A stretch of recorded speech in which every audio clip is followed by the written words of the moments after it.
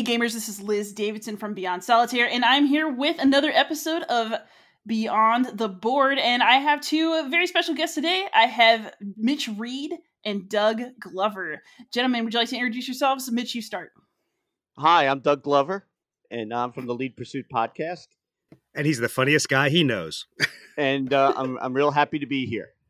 Hi, I'm Mitch Reed. I flew in the Air Force, or actually, I sat in the back of an airplane and told pilots what to do for my whole career, and now I play war games and get paid to do it.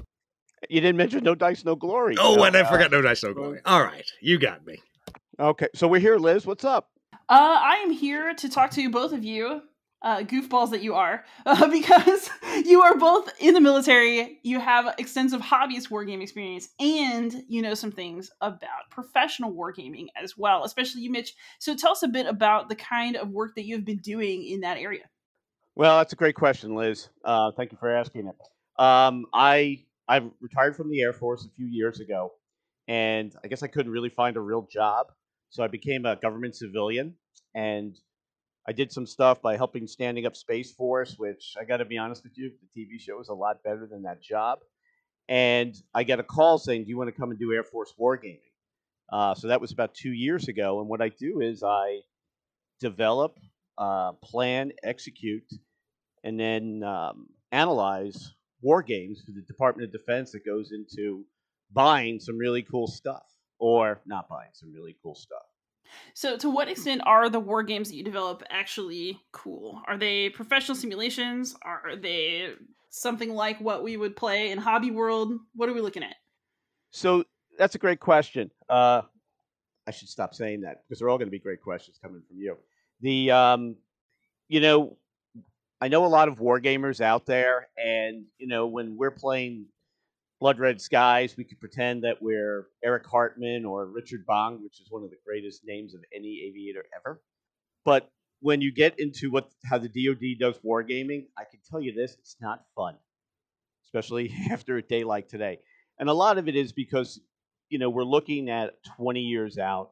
We're looking at future weapon systems. Uh, you know, we're looking at adversaries that and I am not telling anything that's classified, but you can look up the Dave, name Dave Ogmanik from Rand. We lose a lot in war games. And like we like to say, all war games are bad, but some are useful.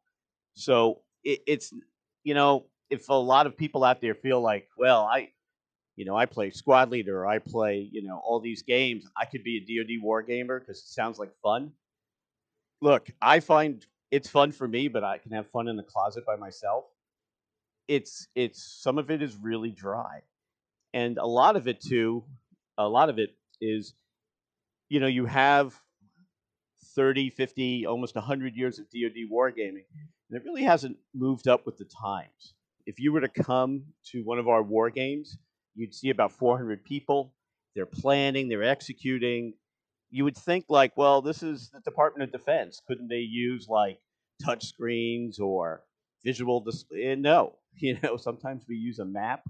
Um, and we play out the war game it's i'm trying to infuse fun in war games and um, i've been successful with a game that we developed called truman uh, which is a, a competition game there's no war in it it is before conflict how like us in the indo-pacom region will play against red to put themselves in a position of advantage for a future conflict. And I made the game fun.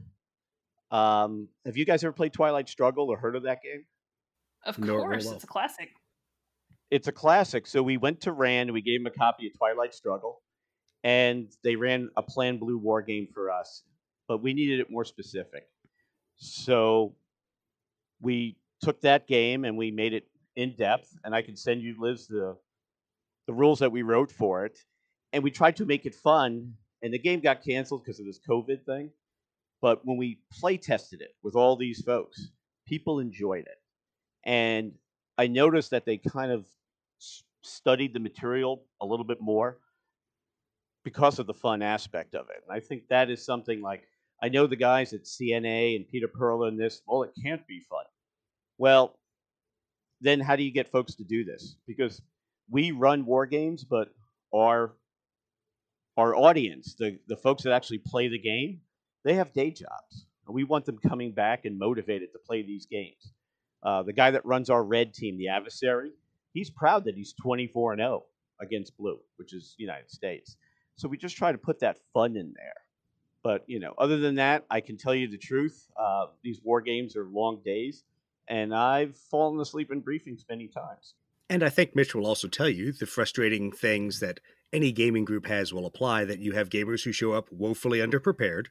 You have people who don't know how to play their role, and sometimes the questions you are asked to find the answer to through a war game are really stupid, such as, "But what if the drug cartels infected sheep with coronavirus and then released them in the middle of a protest? I don't Has know, somebody- General, but I'm thank you for asking. Has somebody been reading the DoD analytic agenda? Exactly. exactly. Wait, is that like a real thing, or did you just make that up to be ridiculous? You never know anymore. You mean the, the DoD analytic agenda is a real thing? It is the storyline behind all of our war games, and there's something called the defense planning scenarios, which are supposed to be unclassified. And you know, I may have a funny story about that, but we take them, and that's so we have standardization between our game and the Marines, and our games and the Army or joint games. Because I can tell you, and Doug, it's not because you're a Marine.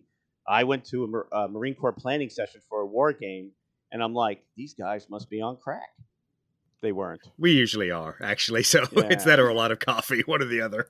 But, you know, and Liz and I will probably talk about this later. Wargaming starts a little bit differently in the Marine Corps as a service, at least amongst the officers, than probably in the Air Force, the Army, and other services. It never starts for us. We do, we we do not have a wargaming culture in in the Air Force, and we are. I personally am trying to change that. I want folks coming to games motivated. I want them coming to games not because they're in Hawaii, but because they want a war game because they know how important it is. You know, we always joke around that you know, well, we save lives, and the only thing that dies in our war games are outdated concepts and doctrine.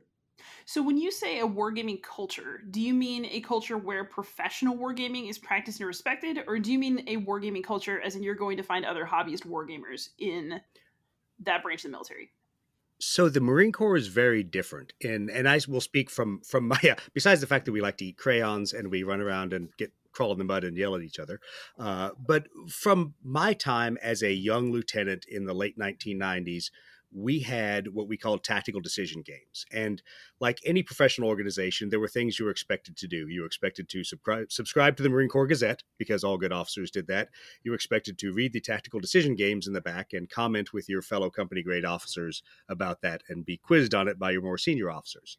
But what it did was these tactical decision games, while very basic war games used to reinforce certain tactical concepts, whether economy of force, unity of command, any any one of those things that you wanted to reinforce at the small unit level, it allowed people to think creatively. And if you were the young officer lieutenant, you had to sit there and say, I have to balance doctrine and tactics with coming up with a crazy solution that, you know, my mentor or my field grade officer, someone may look and go, yeah, yeah, we're never going to do that.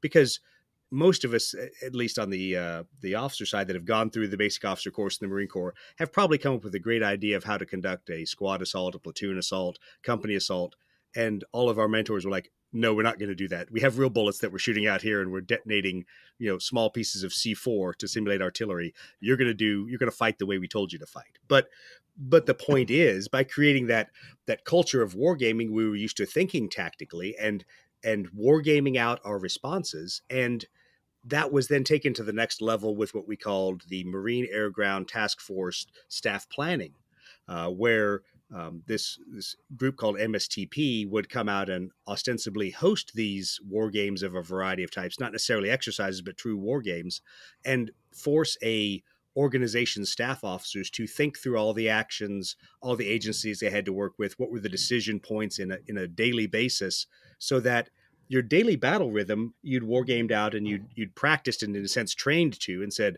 all right, I know the three or four things the enemy can do that that I have to be ready at a moment's notice to be able to counter. And that buys me brain space. It, it buys me thinking time. So when a really weird situation comes up, you go, wow, I've never seen this in a war game before. I've never seen it in training. Uh, let's all sit around and take 20 minutes to figure out what the right answer is. The war games that you're experiencing are war games that directly prepare you for actual situations that you might encounter in your military career. Well, some of them in the Marine Corps were, and, and and Mitch can talk about some of the things that he saw in the Air Force. But in the Marine Corps, there there was a lot focused on the young infantry lieutenant, and I say that because we always talk. Every Marine is a rifleman, and in a sense, all Marine Corps officers, just like all of our enlisted, go through boot camp and some basic infantry and basic warrior training. We do the same as officers. We learn some basic infantry tactics, and we learn how to behave as an infantry platoon leader. And so you learn tactics and ways of thinking there but they're they're the same concepts that all of a sudden when you are a mission commander and you're trying to figure out how to put eight F-15s from the Air Force with four F-18s from the Marine Corps and four of your buddies flying AV-8 Harriers and maybe two Prowlers from the Navy the same concepts are still sitting in the back of your brain. You're like hey there's this thing called economy of force and, and unity of command and some of these other principles and well unity of command means we got to have somebody who's making the decisions. Oh crap, that's me as the mission commander. Where, where can I be in this strike package of airplanes to do what I had to do as a lieutenant, which is command the force? So I better not be the first guy up the hill. I better be the person who's in the best position to observe and command the force. So it's principles like that that you reinforced over time. I wish I could tell you how envious I am because in the Air Force we do none of that. Uh, the first time I would say an officer hears about wargaming is Air Command and Staff College and they do a small game. Actually, was designed by John Tiller uh, from John Tiller, Tiller Studios, and it's really about pulling out an ATO, an air tasking order. But you know, if you're a services officer that's in charge of a mortuary, that means very little to you. We don't do the wargaming. We tend to do exercises. Um, we tend to train a lot. But when it comes, I think, to wargaming, especially at the operational level, we don't do that. So it goes into your second half of your question. Well, is it about hobby gaming? You know, I, I, I wish the two were, you know, interchangeable skills, but uh, I've met fellow airmen that play war games. Um, hey, do you ever think about becoming an Air Force war gamer? Well, I don't think we do that, you know, as a service. So we are just in a totally different position. And I can tell you this, and I'll admit it now, but a lot of us are envious of the Marines because they have that culture. Um, we don't. So, what can you learn from professional level war games, war games in the Marines, or in a, a more limited sense in the Air Force, that other types of training exercises or classes or just direct giving of information cannot teach you? What is that extra thing that wargaming gives you that makes it worth it? So I think it really comes down to understanding how it is crafted. And in the Marine Corps, at least from my time in aviation, we used to always talk about the difference between exercise design and exercise control when we were just doing a war game. There were no real airplanes flying. There were no real Marines running up a hill, bayoneting dummies at the at the top of the the bunker complex. It was simply an exercise in going through a thought process. And the the problem was in the Marine Corps, we had organizations that were very good at exercise design. They could they could craft a series of decision points that would lead you through thought processes and and would develop innate responses in either a staff or an individual through this wargaming. But then we also had other organizations that were great at exercise control. They could make sure that all the computers were aligned and were in the correct tense and the air conditioning was on and the general's coffee was warm and, and they were important. they were good very important thing very very, very critical there. But but they weren't so good at making a exercise or a war game that caused you to think. And so that was always one of our challenges was and i said it often to my commanding officers out at the marine aviation weapons uh, school as i'd say that i can it's very easy for me to point to an organization in the marine corps if you tell me, do you want a well designed exercise or a well controlled exercise? And I can pick one or the other organization. There's very few, and usually it was personality driven, that could do both, that could both create a very creative and very um, open-ended war game that would test people's decisions, test their their creative thinking, their critical thinking abilities, yet also be able to set it up so that when you needed to flip the switch in the first hour, with the general standing there saying "You're wasting my time," uh, it was all prepared and ready to go. Yeah, and our war games are what we like to call the operational level. Uh, the campaign level, and it's the only way that you can play with all the toys in the DoD at one time without spending a lot of gas money. And it's kind of how we put a campaign plan together. And actually, it's a question I'd love to ask Doug is I've sometimes wondered if wargaming is really important to the Marine Corps because of the fact that they're really a combined arms force. And it's how you guys integrate the flyers, talking to the ground marines, talking to the Navy. I kind of wonder if, if that's a reason why you guys have that culture or it's so important to you.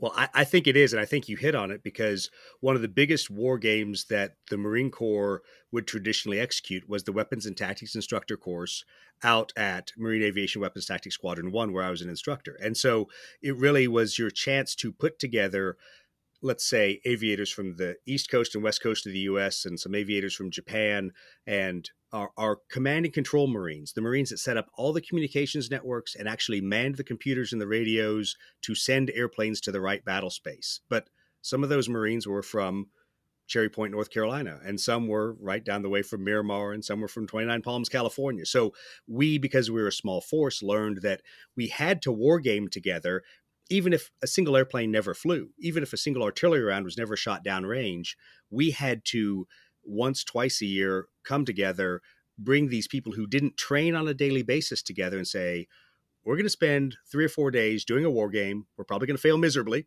we're not going to achieve our objectives, but we're going to get used to working with each other. And and why is that?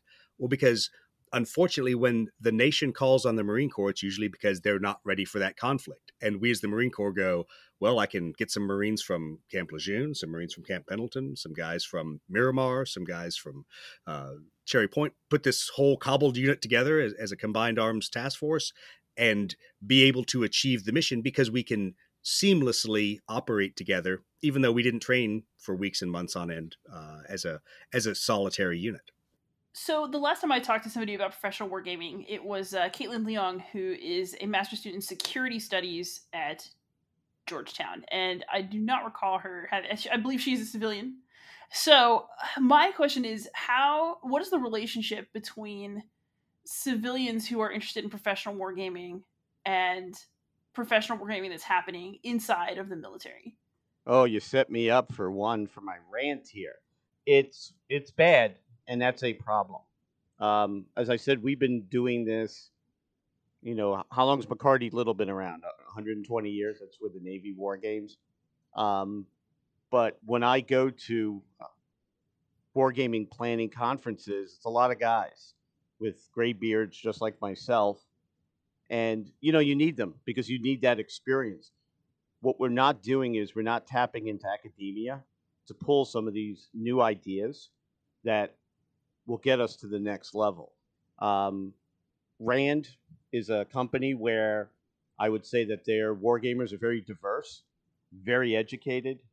Um, but what they, I think they provide, because they do a lot of stuff for the Air Force, and I got to work with them tomorrow morning, um, is PhD level analysis. We are not, as an organization, pulling in our youth. And that is a problem because, you know, you have, as Caitlin mentioned, connections, and you you have a lot where we do things with academia. Matter of fact, a professor at Colorado State who taught wargaming at the Air Force Academy reached out to me today. It's like, I really want to help you guys out. And as much as I'd love to get him, and I'm going to talk to him tomorrow, I kind of want his students. Because if I put a problem in front of a group of fighter pilots, I could tell you, other than, you know, it's like a dog watching TV when you brief them, sorry, um, that I could tell you what their answer is before they give it to me. However, somebody that doesn't have those 20 years of indoctrination into a similar way of thinking, where we need those voices at the table. And last year at Connections during the summer, at the last Q and A section, uh, there's somebody that actually supports uh, Marine Corps wargaming down at Quantico, and I know him, really good guy. And he goes, Where are the opportunities for the younger wargamers to kind of bring and push their ideas forward? And somebody goes, Well, a thing like connections. But none of them were speakers. None of them, you know, were giving demos. So, uh, to me, I think that is the big problem that we're not clearing space for these new people to come up. Um, you know, I'm I'm an old guy that knows that I don't know everything, and I know that I'm not going to be doing this in ten years. So where is my replacement? Because I still care about the product, and I just don't think we're doing a good job there. So, uh, Doug, you talked about wargaming a lot in terms of sort of like a very tactical, battle specific way. What about war games that are dealing with maybe larger scale global and political conflicts that aren't strictly military exercises? What kind of role are those playing? That's a very interesting subset of a lot of what we do, and it's and it's funny for me as someone who was kind of the the tactical uh, level instructor that sometimes we in the Marine Corps do a bad job and we cross the streams, and and I say that because we it's so hard to teach people good tactical concepts whether they're flying an airplane firing an artillery cannon shooting a rocket assisted artillery missile things like that. Um, there's there's so much time that you have to spend on doing the basics.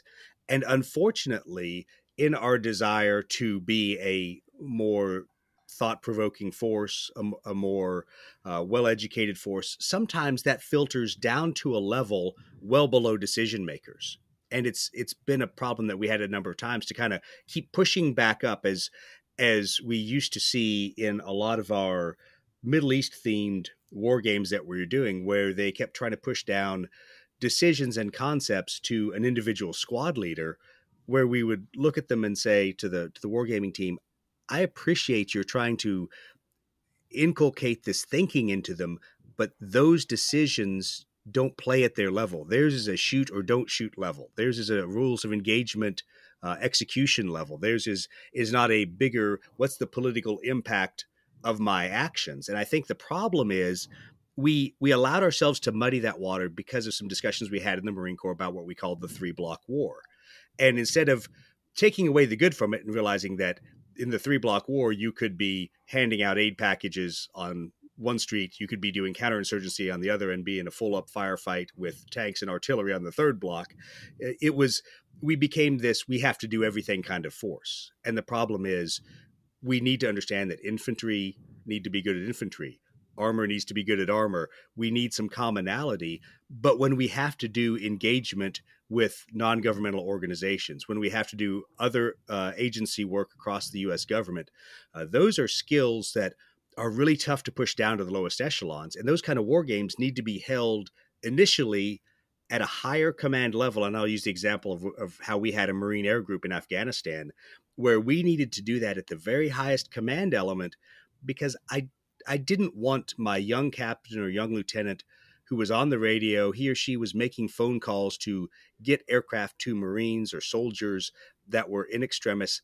I didn't want them to have to sit there and go, hmm, political implications. I needed them to turn around and go, sir, I think this is the kind of mission we don't need to do, or we do need to do. You know, you're you're the air watch officer, the senior watch officer. Give me the thumbs up, and then it was my responsibility to think about those bigger issues and to to free them up to execute in a world that was yes or no, that was ones or zeros, um, and to really push some of the decision making to the to the appropriate level. But that's once again, it's because because we're Americans we, we want to all be the good guy. We want to we, we want to make that right choice. We do we don't want to cause collateral damage. We don't want to um, to create a political uh, conflict where there doesn't need to be one in, in in what is going on. But the problem is sometimes that slows the decision cycle and causes people to second guess when you really need them to execute at a very very carefully crafted level. So one of the things, and I was going to do another um, Ghostbusters reference because when you said crossing the streams, that's what we were talking about, right? Absolutely. Come on, I'm old enough to be a Ghostbusters guy. so for our Truman game, it was what we call a competition game where the military guys informed the posture in the Indo-PACOM region, which is huge, um, and really kind of built upon what force would we need to fight an adversary there. But the focus of the game was was nation building, was using all the levers of national power. It's called DIME, diplomacy, information, military, and economics. So I met uh, a little over a year ago, the, the only war gamer or the initial war gamer from the State Department. And having them at one of our war games because it was at a such a high level and there was no actual war or conflict happening that you know we needed those type of SMEs. Our war games tend to be at the colonel, general officer level.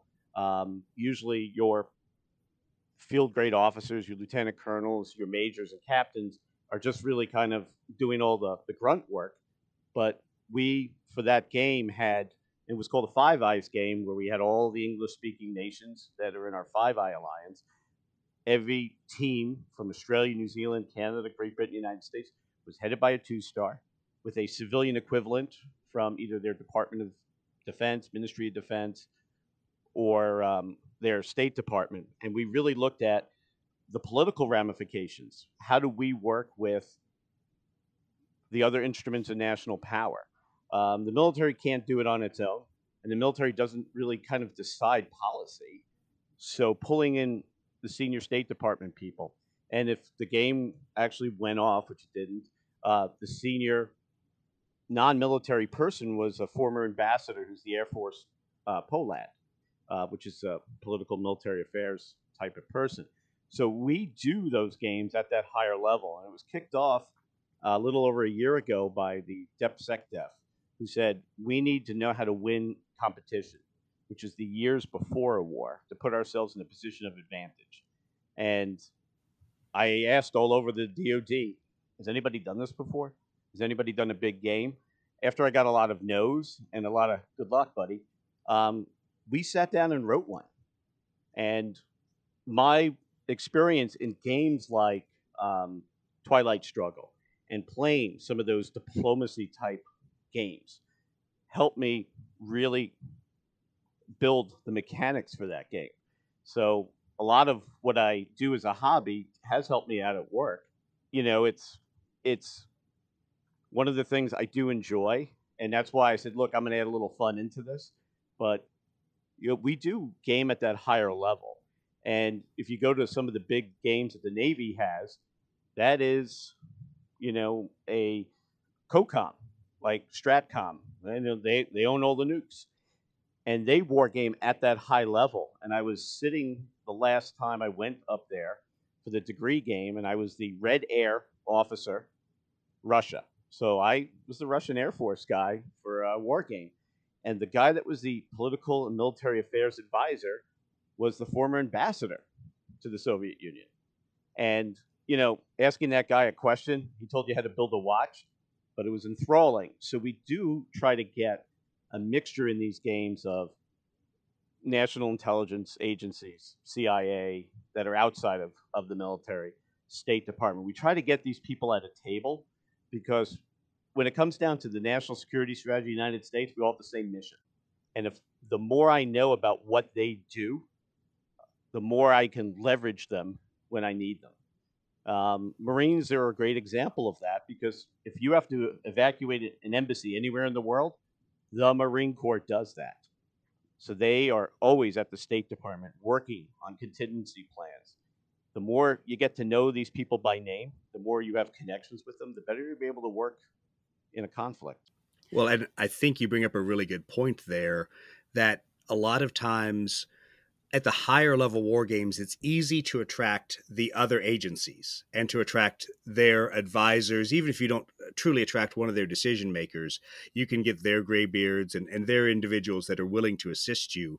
One of the most frustrating war games I ever participated in my life was preparing to take a Marine Air group into Afghanistan in 2009 to stand up an entire area of battle space for aviation and ground Marines that would initially be a brigade of Marines and then was going to expand to an entire Marine Expeditionary Force, which is a lot of Marines. So we'll leave it at that. Um, but the problem was the war game we did to step through what we needed to know, and needed to understand the command relationships and think about, you know, what kind of decisions points would enemy action give us out there. We had almost no State Department. We had zero true allied and coalition players. We had other American Marines playing the coalition, which never works well. Uh, we had a, an Air Force exchange officer with us performing all the functions of anything that was painted blue that said U.S. Air Force. So if I called for close air support from an Air Force airplane, that officer was that interaction. If I called the Air Operations Center to get yelled at by their colonel on the watch floor for tasking their airplanes, that officer was simulating it. So we we had a problem that rather than engaging all of the different agencies and saying send us your your subject matter experts or at least send us someone who knows how your your your organization truly functions we built up a lot of bad habits because we thought we knew what the department of state representatives were going to do for us. We thought we understood what the variety of ngos that were out there inside our battle space were actually going to do. And when you have an ngo played by a marine lieutenant colonel that's terrible. They don't look at the world the same in case people can't figure that out yeah, let me uh, let me make you feel worse about that. So go ahead. So, so, you look about multi-domain ops, and you look about doing you, you you go to execute a war game. Who provided your conduit to space, cyber? You're, you're guessing at that yeah. point. Yeah, you exactly. Need, you need those folks exactly. at the table. Well, and as we, our problem, and, and I've told Liz about this a little bit, is that we had, quote, subject matter experts who didn't know the rules of engagement. They didn't know how US and NATO rules of engagement were different. And when I'm in there training to be the senior watch officer, the the individual charged with being able to run the entire air war for the Marine Corps in this in this battle space, it's critical that I understand the rules of engagement. And when I have to correct the wargaming team and say, please go read the special instructions generated by the Air Force because it will tell you exactly what the ROE is. Then that that that breaks the the disbelief. It, it, it, breaks the the ability for me to sit there and go, I'm going to let myself get so far down in this war game that I'm going to get stressed out, and I'm going to to let them push me around because all of a sudden I'm second guessing what they do, realizing they don't know their their own construct and their own mechanics of their own game.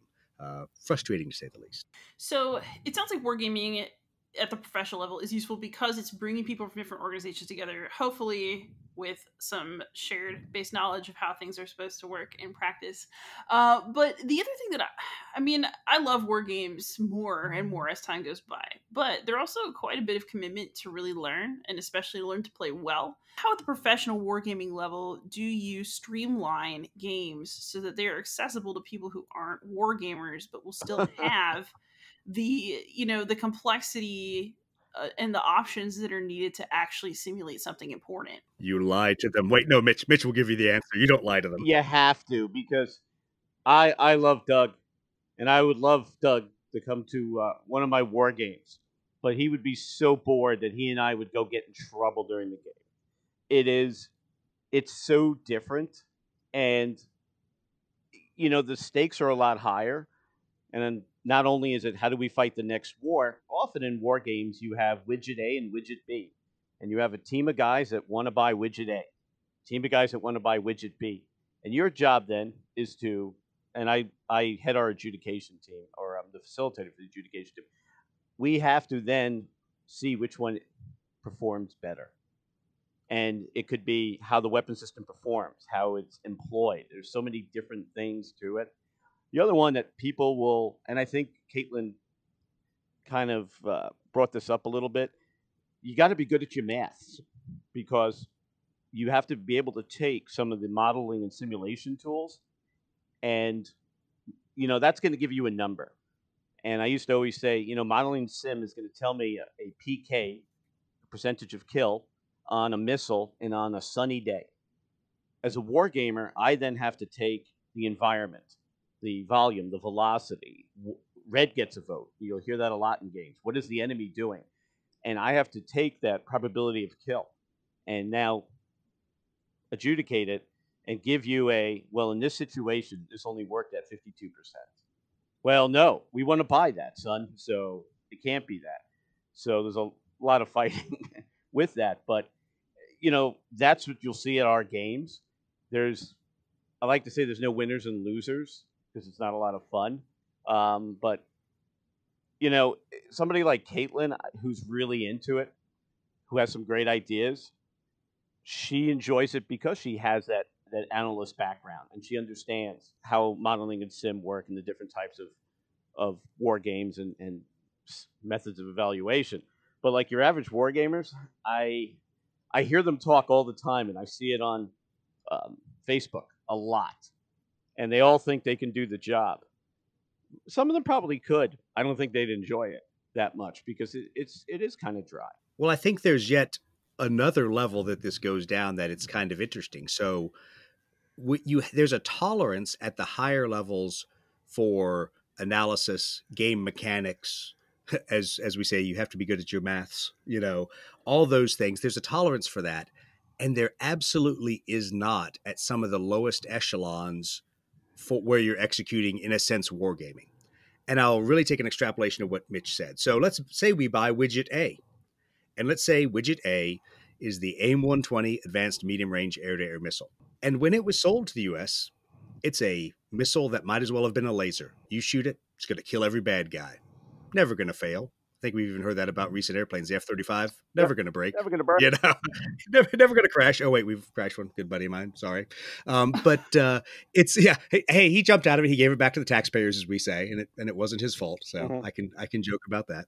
Um, but we we understand now that this wonder weapon we bought isn't a wonder weapon it's missed targets in combat it's it's missed targets in training so how do you take that that knowledge and how do you apply that to a tactical level war game well it used to be years ago in air to air training uh, you kind of would tell your bandits you'd say hey you guys are going to be flying the red air you're going to simulate the bad guys we're trying to shoot down um, we're going to call kills on you after we've shot you and a couple of those you will do what we would call a monte carlo you would just say guess what that missile didn't work you'd give them a brevity code over the radio to pass uh, and then you would know as the guy that had shot the missile, hmm, that one didn't count. I need to kill that bandit again somehow. And then all of a sudden, somewhere, a nerd got involved, and I'll blame the Navy because I can I can get away with blaming the Navy on this.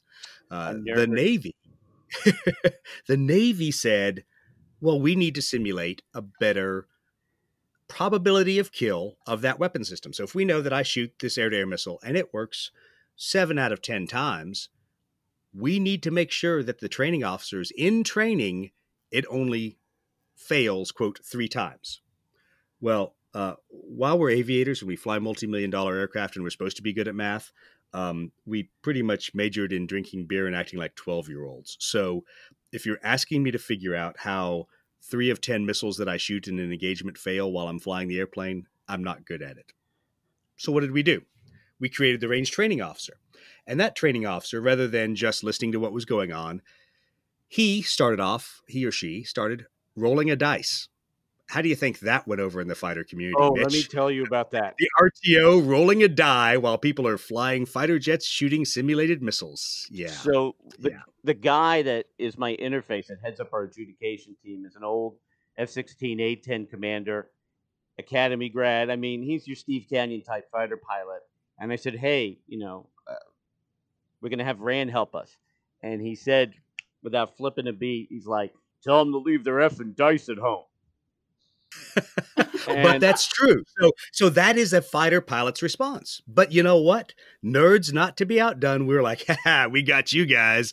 We're gonna keep making you nerds just like us, but without making you roll dice. So the Navy and the Marine Corps made a probability table. And we and we broke it down real simple for guys. We're like, look, you have 10 blocks you're going to write seven Y's and three N's in there. We don't care what order you write them in.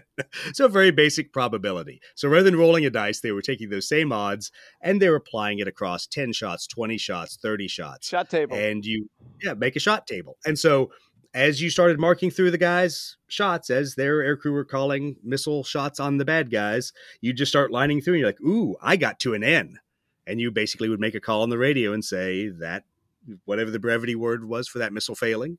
And the good guys were like, oh, crap. Now we got a bandit. We got to shoot again. And all the red guys are like, yes, we didn't die gloriously.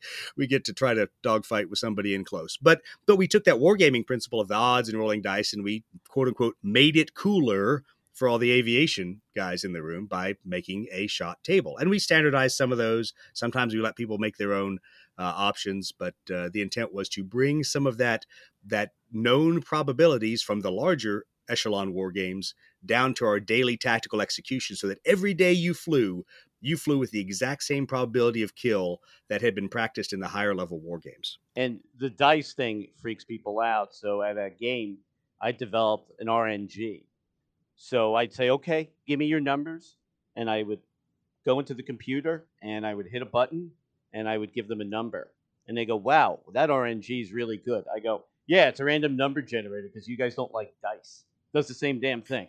So that's how, that's how we bring gaming principles into the too cool for school era of fighter aviation. So, Mitch, you talked a bit about how you bring your hobbies gaming life into your professional wargaming. Uh, but does it go the other way? I mean, does being good at professional wargaming translate to hobby games at all? And also, if you've been participating in a pro war simulation all day, is it still fun to go home and play a war game, or do you have Hell to? yeah! Oh yeah. Look, I mean, let's be honest. You have a bad day at work, no matter what you do. Gaming's fun, and and it's it's interesting. Um, after my day today, which was a crap day, you know, I'm trying to convince the uh, the unconverted of how to move forward. Long story. Uh, I came home and started playing some John Tiller games on my PC. Just picked some up. You know, I still find it fun because it's so different that it's really not the same. But I, I could tell you though, from playing a lot of games, I'm like, huh, that's a really good way of uh, of taking hobby war games and bringing in professional. Actually, yesterday I talked to Phil Bolger, who's going to be one of the speakers at our roundtable, who's a professional war gamer, and he's designed a ton of games that I have here on my shelf. And we were trying to figure out with such a big region like the Pacific, how do we nug down the battles in the Pacific? And I said, you know, I remember hearing a guy talk about he designed an area move game where they don't use hexes, they use areas and you move troops. And I said, well, how, how do you get the shapes? And the guy was like, well, a lot of it is based on terrain, but I am showing you via this map how what areas are important by how I designed the map. And I, I thought about that. I'm like, why can't we use that for ours? So I could pull stuff in like that, but I still I still find gaming fun because you know at work they're not going to have me battle Spitfires against Messerschmitts. You know I'm not going to play uh, Verdun at work. Now I've been taking games, hobby games, into work and getting them to play, but I make sure that I say you know there's a little lesson here too. Like I try to teach them about mechanics, but I also want them to have a good time and embrace the kind of geek culture that the three of us are just smitten with. Well, you, you, know, it's interesting. So, from where I sit, mine is still very much a tactical level of wargaming. And uh, after beating my head against the wall all day, uh, trying to figure out air to air tactics or things like that, it's refreshing to walk back into Blood Red Skies where it's not. Am I doing? Am I in a rolling scissors? Am I in a flat scissors? Am I doing a high or low yo-yo? It is I'm just moving an airplane. I'm burning advantage. Uh, you know, things like that. And, and I'll be honest, I I enjoy crossing the streams between military thought, I will call it, and and and wargaming and hobby wargaming, especially in areas I have a background in, and and some of them that are fascinating to me uh, when doing aerial combat are games like Blood Red Skies, and some of them are fascinating and frustrating, like Dan Verssen's Leader series. Um, but I think the the really interesting part for me is a lot of times figuring out what their mechanic is and trying to see does it really correlate to what individuals do when they actually execute that job. And I know for both Andy Chambers and Dan Verson, they get tired when I ask them the questions of, well, does the mechanic have to be that way? What if we changed it? What if we made it like this? and they're fine to tell me that's how I designed the game. I'm like, okay, I'll back off. Um, but but for me, it's it's kind of a learning process of decomposing their construct and and why did they choose to represent certain techniques or certain uh, actions the way they did. And and even Kevin Verssen and I were talking the other day about how do you take something that sounds so normal and basic as just an air to ground attack and how do you give people options and what do you call those options where people can say i'm willing to put myself under more stress or expose myself to more fire in order to have a better to hit bonus? You know how do you how do you put that into military terminology where you're not just grabbing random terms and throwing it in there? You know you bring up a good point.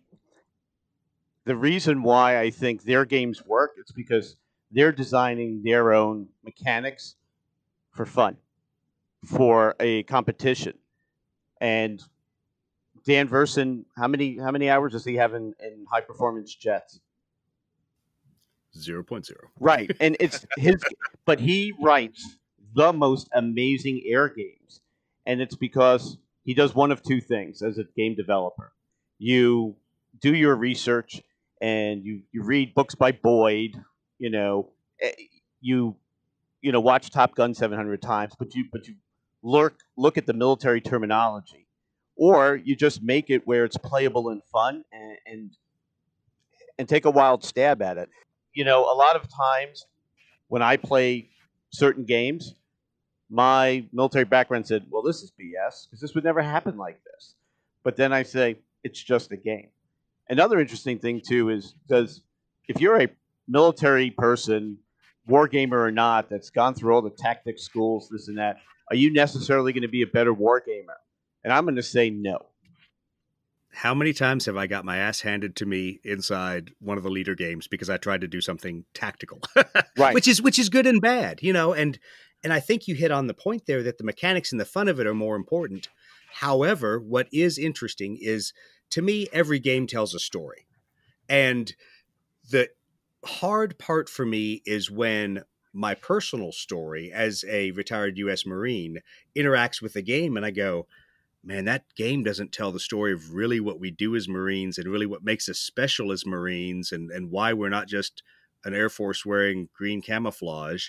Uh, you know, it's it's one of those kind of things that I and I think Dan has has learned to tolerate my questions uh, when I when I ask him things about, hey, why couldn't you do a Marine campaign differently this way, or why or why couldn't you add this different way for Marine squadrons to execute in Hornet Leader or in Phantom Leader or any one of those things, um, because I think that that when you play a game, you not only should walk away enjoying it, but you should get you know, at least a little bit of, I don't want to say historical understanding because that always implies a level of simulation, but an understanding of what the big picture concepts are. And to be honest, that's that's why I play a lot of games. I'm kind of like, huh, I don't know a whole lot about Vietnam aviation, so I'm just going to fill my shopping cart full of Vietnam aviation war games and start playing through those. Yeah, and that's why you know what I don't get, and see, I don't play sci-fi or fantasy. I mean, a couple because they're real tight. I'm sorry, you you have a boring life. We know that about no, you. No, but it's like you know, from designing and working on historical war games where you got to do some research. I sometimes look at the guys that do the fantasy sci-fi games that's based on nothing that they can put wherever they want in there. It's unbounded by real life physics. I mean, hell, they have magic in their games. That I I, I kind of wonder like that just there's no challenge there.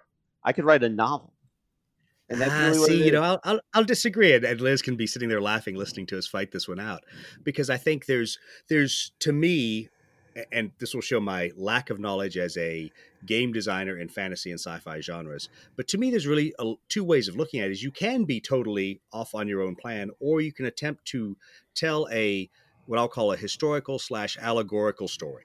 And I'll use Warhammer 40k as the example of this going vastly awry in a miniatures based war game, where the the original authors really wanted to kind of tell some of the lessons of of World War II and modern history, but then in the process of doing that, created a grim, dark world where things were so dystopian and so amoral that you lost the message of why it was important to be good why it was important to to be the less bad of two evils. And and so i think that there's there's a thought process there for some f- fantasy and sci-fi gaming that it's simply like writing fantasy or sci-fi. You may be writing an allegorical story you may be trying to take a historical lesson that is not palatable to your audience and i think this is extremely important today that may not be palatable to your audience but tell them the lessons of history that they need to remember so that we don't make those mistakes again, but take it out of something that has a lot of emotion tied to it.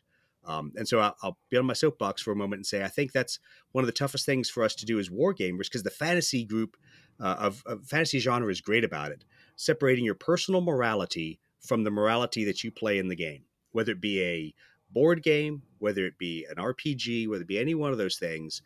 It's easy for them to mentally separate their morality from what they're doing. And we we have a hard time doing that in historical. And we want to be the good guys and we want to to not always play the bad guys knowing how bad they really are and we and we don't even sometimes want to model those bad decisions.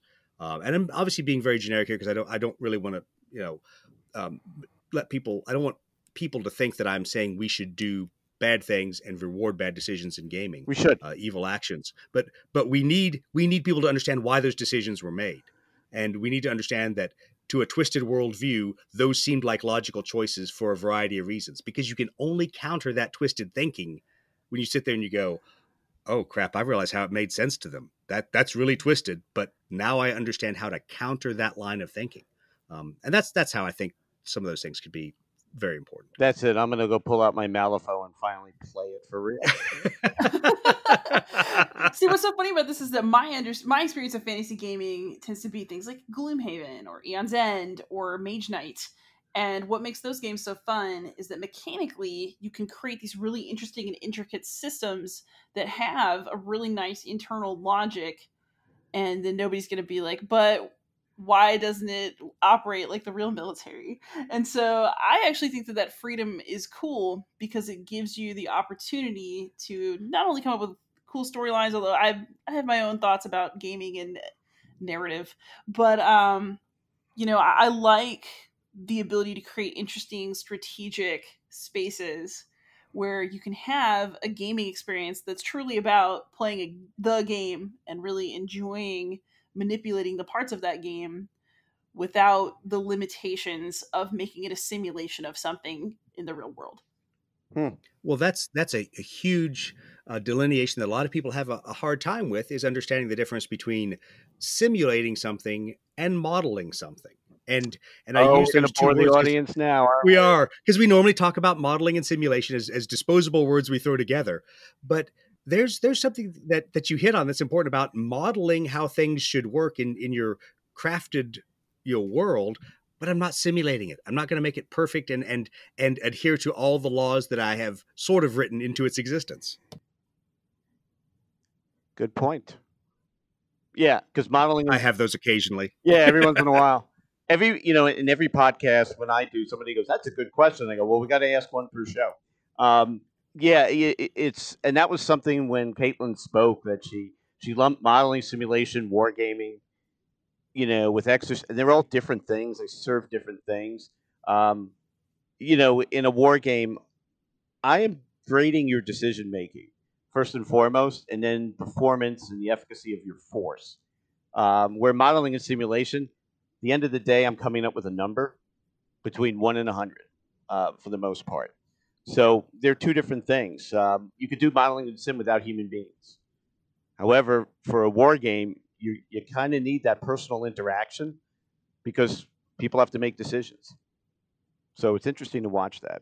That goes back to one of the points that I made earlier about the difference between exercise design and and how you how you might craft a war game or an exercise in the Marine Corps versus control because one of our frustrations we had so often was with limited aviation resources limited number of days that you have marines sitting in the same tent in front of the same computers all working together limited you know bandwidth of a colonel or a general to say sir show up for a day and a half and be our senior mentor and advise our people on what they ought to do. Inside that limited amount of of gaming area all of a sudden you have to pack it full of as many recognizable decisions without making it some overly complex series of mechanics of well i'm going to pre-script everything so if they send these two f-15s up here to be a combat air patrol and to guard against enemy fighters but they don't send these two f-18s over here to do close air support well then they're going to fail and now we're going to have to do a different series of missions. We learned that there was a lot of things that you had to have some generic uh, rules of thumb of what could happen but you had to let people make those decisions and you had to say the, the exercise has to be designed to let them go. I put an air-to-air capable platform up there to defend against the bandits and i sent a precision bombing platform to close air support. And did it matter whether they sent harriers or hornets to go provide close air support? Sure as an f-18 hornet guy i always got offended if they chose harriers but if they chose the right you know if they chose a capable platform that in a sense got us that step and it could free us up to go okay now you've you've bought your force composition. You sent you did something different than i would have done but you sent an air to ground capable platform here. What's going to be the air to air? And they might send the f-18 hornets there. And you go okay that's great. Now they've boxed themselves in a corner and i have to change the story because now all they're left with is those air to air f-15 charlies who want to wear their ascots and shoot their watches on their wrist and whatever. And so you'd quickly change the exercise to have another pop up air to ground threat. And the person would sit there and go, oh, crap. Did I make a bad decision? No, you, you made a decision, but that decision did paint you in the corner of you had no depth to your force. You took your air to air and air to ground capable platform and you sent them on the, the lone air to air mission. You you painted yourself in the corner. Congratulations, you learned from it. Okay, let's reset. Let's do another mission. So I was going to ask if you are already okay with alighting certain rules or simplifying a game in order to make it playable in a streamlined way. At why would it matter whether the game is fantasy, sci-fi, or historical? You mean personally? Yeah. I you know I don't know, and I think it's just because of if if you come to my house and there's you see tons and tons of books, you'd have to look really hard to find some of the fiction works, you know. And I yet I studied so, English. So it's a matter in, of personal college. taste. I think it's a matter of personal taste. I think a lot of it's interesting. Um, I play the heck out of Star Wars X Wing, Star Wars Armada. I love those two games. I can't get enough. Does it bother me when I watch X Wing, when I watch one of the movies, and I'm like, well, yeah, that's not how uh, astrophysics works. It kills me to no end. You know, like why aren't they floating? And I I have to let that go. And I think it's the one thing, uh, and Doug probably could agree. The military ins- instills a healthy sense of paranoia and OCD in you. And Absolutely. and- I'm not sure I'd use the word healthy, maybe un before that, but yes, you're Yeah. right. you know, because it's I've never been in a place like you work with nukes. You get one question wrong on a on a fifty question test, you fail. So it's that paranoia and that OCD, and I guess maybe because it's I find I can analyze history. Um, I can look at different historical viewpoints and come up with my own. In fantasy, Luke, you know, uh, Han shot first. That there's, you know, that's the only debate a lot in fantasy because everything else is pre-written, it's pre-scripted. Um, maybe, and it's personal choice. But I do have a question for you. You mentioned something, Liz. Yeah. You said you said you're getting more and more into war games. I want to hear what games you play, Well, and then Doug mean, and I can say they suck. No, just kidding. Ah, ha, ha, okay. so, uh, tell you what, I'll tell you what I'm playing. I'll ask for recommendation from y'all, and then we will end this night with where we can find you guys on the internet. I think it's a great spot. So, war games that I've been playing recently. Um, I guess it depends on how you define war game. I have been spending a lot of time with the coin series. I know that some people find its wargaming is debatable, but Do you, I I, could say something that- that'll make you jealous. oh, I've been to Volko Ruhnke's house to play a game. oh, that He does wrote- sound like that would be a good experience. Yeah. Oh yeah. Let me tell you. There, it was. Uh, I brought my friend who's a general in the army. Everybody was CIA, ex-CIA, or State Department. I could say I was like the the idiot in the room, but the coin series is amazing. Which one's your favorite? I'm an ancient history person. So for me, it's between Falling Sky and Pendragon. Basically, if I want, if simple can be used to describe a coin game, if I want to have a simpler experience, I choose Falling Sky. If I want to go all the way and really have an intense, complex experience, I will choose Pendragon. I think Pendragon's kind of pushing the limit of what I can handle in terms of game complexity. uh, I also do play a lot of David Thompson games. I do. I've got Castle Itter in the in the queue, What- ready to go. What do you think of that game? Uh, I haven't played Castle Itter yet, but I love Pavlov's House. I think it's good fun. It's very dramatic and it's exciting, and it always presents you with decisions that are never enough and can you know you can even lose the little that you have, which I find enjoyable in games. I'm gonna upset you now. I bought that game. I was, believe it or not, I bought it at a complete strategist because if I go into a local game store, I buy something because if I don't, they won't be there the next time I go. And I bought Pavlov's House because I'm sitting there reading Board Game Geek, and I'm like, well, the company is an amazing company. They know how to do solo games. I've never played it. Am I a bad person? No, Yes, I mean, yes, you, are. you merely have an opportunity for fun that awaits you. Yeah, I need to play. You're a failure. You, I I'm going to tell you all the bad things about yourself, Mitch. I, I, re- I do, man. It's you know I cry myself to sleep a lot, guys. It's not fair. You're so sensitive. I know it's not fair. And you know, thank Uh. God that we didn't do the video here because we, you know, I remember I said I jumped out of bed to come down here because I forgot that it was tonight. And uh, yeah, so thank you guys for not doing that. Or Liz. so I've said what I'm playing. Here's what I want from you two as my last question tonight. First of all, what is your favorite war game? And second, if I wanted a Yeah. taste of something that was as accurate as possible, what war game that is a hobby war game would I play? You asked the worst question to ask any wargamer. It's like asking Sheldon who his favorite physicist is. Um, it, it depends what I'm in the mood for. I have this thing where I look at a game and I say that's going to be a hot game, and then I play it till I forget I have it. And um, I I can't say I have a favorite. I know what Doug's answer is, but I can't say I have one because I have an addiction problem, like most gamers, and it's almost like heroin. If it's a great game, I'll play it, uh, regardless of subject matter, because I do play the three fantasy or sci-fi games. But I can't answer that question and, and really be honest, or I'll lose my sponsorship. Or uh, no, just kidding. Fair enough. It's hard to choose among all of your children. I know. Yeah, Doug, Doug is Yeah, the I was Blood gonna are you committed? Now, I am I am not going to say Blood Red Skies because it is not my favorite. I'm enjoying it right now. I'll be honest. That's why I do a podcast for it, uh, for the Lead Pursuit podcast. But what I will say is, if, if you asked me what is the most realistic game and and what would you recommend for someone to go out there and, and to play and to have something that is both accessible and realistic, which is always difficult. Um, I, I'm going to tell you there isn't an easy answer to that where I started is probably the gateway drug and say things like Squad Leader, Panzer Blitz, and war games like that. You go, oh my God, those things are so horribly complex. And they are in the lens of today. But they also had a level of detail that does not exist in so many games today. And, Right. a, and a level of of scientific thought between what is the penetration capability for an 88 long round what is the armor on the front of a T34 and those things that caused you to go wow I want to step back and I want to have a fun game or I want to really go into this deeply modeled and deeply simulated kind of game.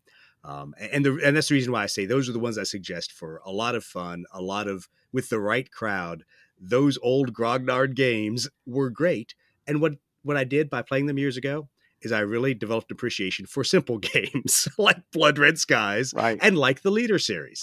Um, because when I want to go just have some mindless fun, I will go play a Leader game because it doesn't take long. I'm not going to get bogged down in some tables. But I also know that at the end of the day, when I walk out of there, I had fun, but zero that I did had anything, anything remotely to do with aviation other than pushing aircraft around a board. But that's okay because I, I wasn't playing it for that. Squad Um, leader, man. So that's Mm, yeah. Mm. I, I I loved my gateway drugs. Um, Advanced always squad always leader. be a favorite of mine. Uh, so what? I'll tell you what. She's asking for a recommendation, and I will do better than a recommendation. I will uh, recommend that you go to MMP Multi-Man Publishing, pick up one of the ASL starter kits. They're kind of cheap, and it's one box. You play the game, and I will get somebody on Vassal to teach you that game. And they do play it solo, and I will get them to teach you that as well. Uh, matter of fact, he's one of the speakers at Cyber, the Cyber Roundtable, that's going to talk about ASL. Because when you see the ASL Advanced Squad Leader rulebook, it's a binder bigger than anyone I had in high school, and it's scary, but it's such an amazing game, and it plays quickly once you know the rules. So Yeah, it's it's the graduate level education you need to go through the rule book. That's the problem. But Yeah. and that's and that's why I say Squad Leader, Panzer Blitz, uh, some of the older games that are a little bit easier. But uh, but I, that would, would also be my challenge back to you, Liz. Is try some of the old Grognard games if you haven't in a while, knowing what you know now and appreciating what you know now, uh, and go back to some of the really complex worlds and go ah. You can still play this and cut about fifty percent of the BS out of it, and it's still a fun simulation. yeah, it's good. It's a lot of fun. Binder full of rules. I know no fear. All right, so you can find me on the internet anywhere as Beyond Solitaire. Mitch, where can we find you? Uh, no dice, no glory.com. Um, I'm one of the writers. We have a, a big staff. We throw out a lot of uh, podcasts And then can I plug my event? Please do. Because both you guys are speaking. So, HMGS, Historical Miniatures Gaming Society, is having Cyber Wars. Um, I am running the roundtable. I have Liz, Liz, you're on day one. You're like the last speaker on opening night. I mean, that is like it's like pitching in the bigs. you will regret this. Yes, you can find it on uh, Facebook. Just go to the No Dice No Glory Facebook page, and there's links. But we have 20 hours of speakers that cover professional gaming. Um, we have influencers. We have game reviewers. We have a very special treat, I think, for your audience based on this talk is the Canadians developed a COVID game using Vassal that they've only shown to U.S. State Department and uh, my wargaming section here at the Pentagon. They're going to show it to everybody there. We also have uh, Little, who wrote a lot of the Age of Piracy background story for uh, Firelock Games and the TV show, I think, Black Sails. So we have some amazing speakers besides Doug and Liz and come check it out. Uh, just hit uh, No Dice, No Glory's uh, Facebook link. And uh, thank you so much for having me. Absolutely. It's been my pleasure. Doug, where can we find you? You can find us on the web for the Lead Pursuit podcast, obviously on social media at Lead Pursuit, leadpursuit.net if you want to go out and find us on that archaic thing called the World Wide Web. Uh, and once again, reach out to us on social media. Pretty easy to find the podcast. We're on iTunes, we're on Google, we're on SoundCloud any major kind of uh, podcasting archive out there. Uh, we're out there. We're irreverent. We say things that make people very, very angry, and we make fun of Warhammer 40k competitive players. So, hey, that's reason enough to come listen to our podcast, right? One of the best podcasts, though, is is theirs. Thank you, thank you. Thank you, gentlemen, again so much for your time. Thank you so much for coming on and talking to us. And for those of you who are listening, happy gaming.